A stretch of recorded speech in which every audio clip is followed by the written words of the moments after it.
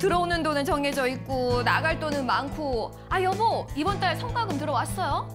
아, 아 받긴 받았지. 근데 왜? 아니 이번 달 가계부가 마이너스예요 마이너스 아니 당신같이 알뜰한 주부가 어쩌다가 그렇게 된 거야? 혹시 무슨 일이 있었어? 아니 수영이가 이번에 대학 들어갔잖아요 그래서 등록금이다 다 내고 나니까 보험료 낼 돈이 없네 에이 뭐 일주일 정도는 연체해도 되잖아. 조금만 기다려봐. 내가 다음 주에 두 배로 한번 불려다가 줄게. 두 배? 당신 설마 주식 투자했어요? 아이 요번엔 달라. 내가 미국 주식에 투자했다니까. 아니 뭐 미국 주식은 뭐 오르기만 하고 뭐 내리진 않는답니까? 아 진짜 못 살아 정말. 네, 제가 지금 이렇게 연기를 해봤는데 저 꽤 잘하죠. 네. 아니 근데 김성환 전문가님도 꽤 잘하시는데요? 아 제가 또 왕년에 이 배우로 한번 꿈꿨었습니다. 아 진짜요? 꿈은 뭐 아무나 꿀 수 있긴 하죠. 네. 네, 자, 워워 진정들 하시고요. 자, 지금 우리 집 가계부 구조대에 도움을 요청하신 우리 가계부는요, 45세 주부분의 가계부였습니다. 남편분은 회사원이시고요, 50세신데 지금 20살 대학교에 가는 딸과 13세 아들이 한 분 있습니다. 네, 현재 상황은 올해 대학에 입학한 딸아이 때문에 등록금을 내느라 지금 보험료가 연체될 수밖에 없는 그런 상황 인데요. 남편분은 또 비상자금으로 주식 투자를 하고 계시네요. 성투하면 좋긴 하겠지만 이게 또 문제가 될 수도 있겠죠. 자, 김성환 전문가님, 가계부 특이사항부터 한번 살펴볼까요?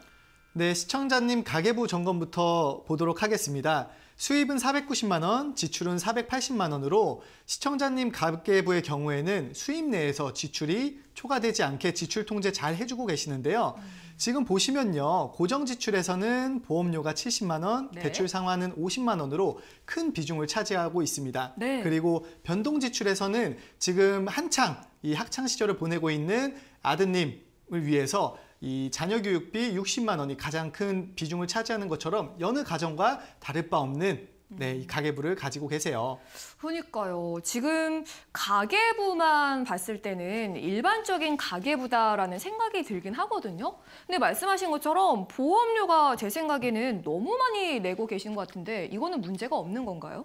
아, 역시 우리 집 가계부 대장님답게 어, 바로 이제 문제점을 바로 발견하시네요. 네. 지금 4인 가족 기준으로 봤을 때 70만 원이라는 보험료로 너무 많이 나가는 것 같죠? 네. 자, 그러면 우리 집 월 적정 보험료는 얼마인지 함께, 함께 한번 어, 알아볼까요? 네. 시청자분들도 한번 같이 잘 살펴보세요. 지금 보고 계신 이 표는 금융소비자연맹에서 발표한 어, 월 적정 보험료 수준입니다. 이제 연봉 3천만 원부터 7천만 원까지 그리고 이제 자녀 유무, 연령 별로 분류를 해 두었죠. 네. 근데 지금 보시는 것처럼 보험료가 꽤 많이 내고 계시는 것 같은데 이거 보시는 것처럼 70만 원 괜찮을까요?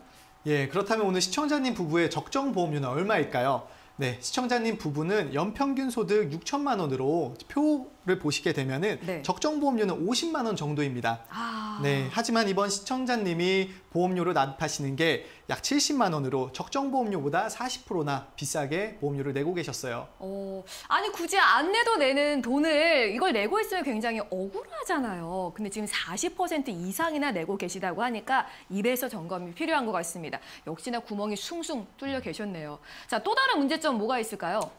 MC님, 네. 오늘 시청자님 혹시 노후를 위해서 준비하고 계신 저축은 얼만큼인지 알고 계신가요? 음, 아 제가 이 저축하고 계신 돈이 20만 원 정도라고 듣긴 들었는데 이게 사실 노후용인지는 잘 모르겠어요.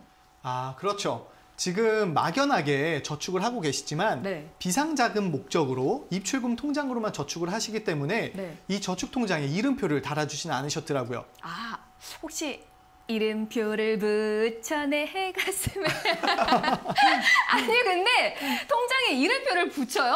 어떤 이름 붙여요? MC님, 그 네. 낯선 곳에 가실 때 내비게이션 없이 운전해서 가보신 적 있으세요? 어 있긴 있죠. 굉장히 어. 좀 무서웠어요. 그렇죠. 네. 저도 한번 그런 적이 있었는데 음. 아, 굉장히 시간만 허비하다가 목적지까지 가지도 못하고 너무 힘들었습니다. 그런데 이 돈도 마찬가지입니다.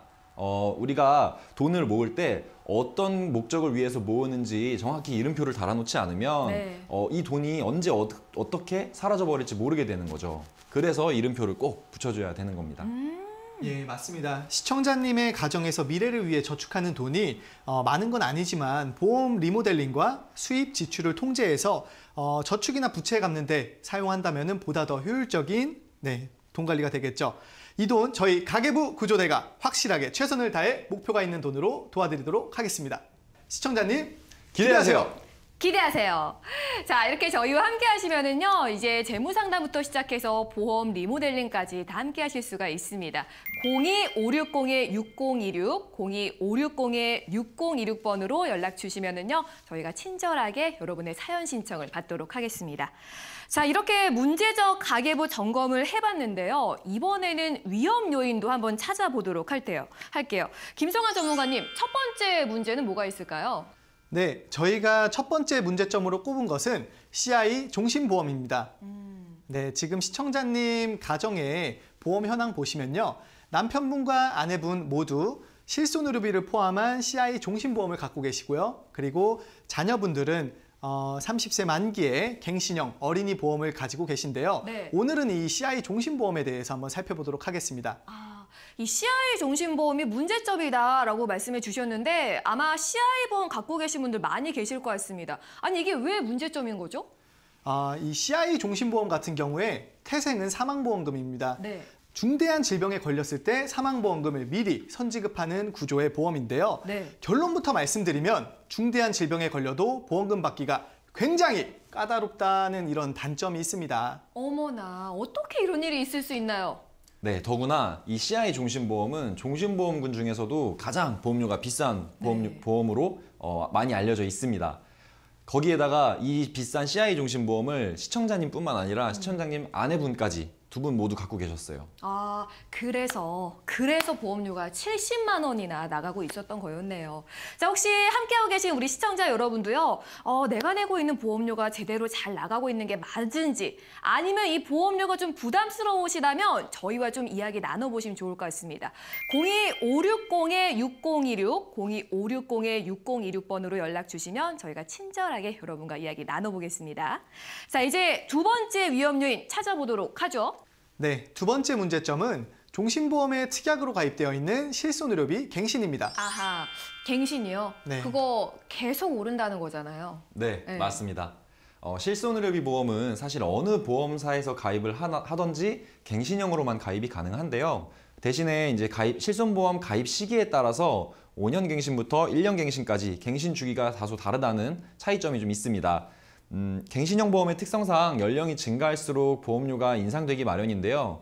어, 그 중에서도 실손보험은 갱신형 보험 중에서도 보험료 인상 폭이 어, 다소 큰 보험 중에 하나입니다. 게다가 실손보험을 단독으로 가입하지 않고 종신보험이나 종합보험에 특약으로 가입하다 보니까 보험료가 좀 더 비싸게 느껴지는 경우도 많은데요. 실손보험에 최근에 실손보험이 개정된다는 이슈가 있다 보니까 이 실손보험에 굉장히 또 관심이 많아지셨습니다. 시청자님의 가정에도 종신보험에 특약으로 가입되어 있는 실손의료비 보험에 5년 갱신을 앞두고 있다 보니까 이 부분도 점검을 하고 가야 합니다.